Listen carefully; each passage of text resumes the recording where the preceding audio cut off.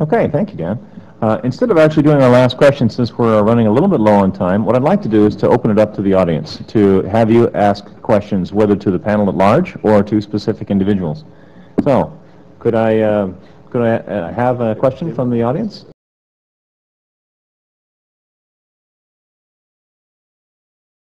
Anyone Yes. have a question for our panel? Yes, this is a question for Richard, who twice throughout the intriguing sentence, time is a variable that has to be optimized.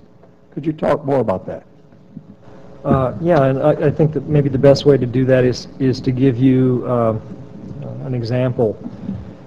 Um, Well, I actually did touch on one example, which was, let's say you, you have a, uh, a- a real-time stream that's going from a server to a client, and that stream is interrupted, okay?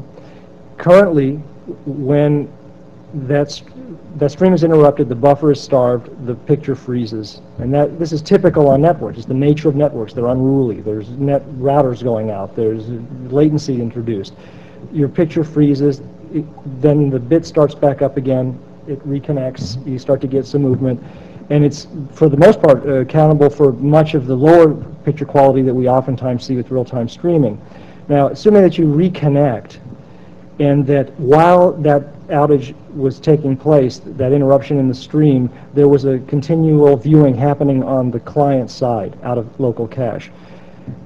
By, by being able to move content faster than real time, which is to break out of the paradigm of, you know, the, the regular stream is a constant static feeding of the stream at the rate at which it's being consumed. They're always the same. It's being consumed at 28, it's being fed at 28.8.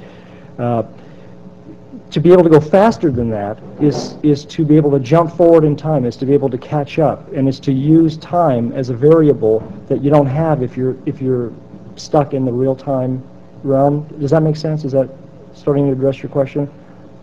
Because the, uh the, there is another aspect to it, which is evening out the bursty nature of a network. And maybe that's an, another place to look at it, where, you know, typically IT person has to reserve a certain amount of bandwidth based on anticipated peak demand. But it, but networks are bursty, so people come on at different times. There's a load profile that kind of goes up and down. And any time that the load is less than what was anticipated, you've got bandwidth sitting there unused. So time's going to go by, and you can never go back in time and retrieve the bandwidth that didn't get used just a few moments ago. But if you're utilizing the ability to go faster than real time or to burst content to local cache, then as soon as bandwidth's available, your server can say, oh great, here's my chance. I can now preload this client and this client and this client based on their consumption rates, based on their connection. And so once again, you're, you're utilizing time to be able to grab bandwidth before it gets by unused. Interesting uh, perspective, uh, actually using time in this manner. I would expect maybe uh, Paul or one of the other panelists might have a, a counterpoint. Um, Well, you, you don't always have the opportunity to use time in this manner. Uh, for example, somebody who's got a 28.8 modem, there's not an awful lot they can do to try and speed up that process. I can understand the, the possible infrastructure necessary to, uh, to incorporate this kind of an aspect, but what would you do for, you know, internet connections with respect to time, and how would you manage something like this on an intranet? It's actually easier on an intranet, but to go to your first point first, Okay. um, anytime that your con, the, the size of your pipe is larger than the rate of the encoding of the content, Mhm. you have an opportunity to send the bits faster than they're being consumed. Right. Okay, so Understood. Okay, so that's, so the only time that you can't go faster than real time is when those two are the same. Mhm.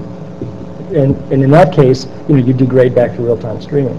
But again, I'll bring you back to those initial industry trends going forward. You know, are we getting more bandwidth? Is more bandwidth emerging in intranets and eventually on the internet, or is it less? And I think we all agree that the answer is more. And, um, you know, is, is the cost of storage, which is the other component you've got to have. In other words, you can't burst something to a client that doesn't have the capacity to receive it. Mhm. So is, is that becoming available and is the price going down? And I would say yes. I mean, when we started 10 years ago, we were demonstrating hardware that could do this, and uh, a gigabyte at the time was $1,500. So, you know, it's clearly a barrier to entry for any kind of real-life app, uh, application, but, and now we're like in the ten, fifteen dollar range. So it's a, it's a big difference. Um, Now, I am curious about your comment about the intranet, because I would have thought you might have put it the other way around, that the internet would be more problematic, but you, The internet is more problematic. oh, I thought you said the intranet. I'm just curious about your particular tool for doing this time acceleration issue. Sounds like a quantum mechanics nightmare, but, Well, I uh, mean, this is a little heady stuff, man. We're reaching into the future now, and I'd like to know how you're doing it, so. well, you want to sign a non-disclosure? No. Before we get too I'm just curious about your particular tool for doing this time acceleration issue. Sounds like a quantum mechanics nightmare, but,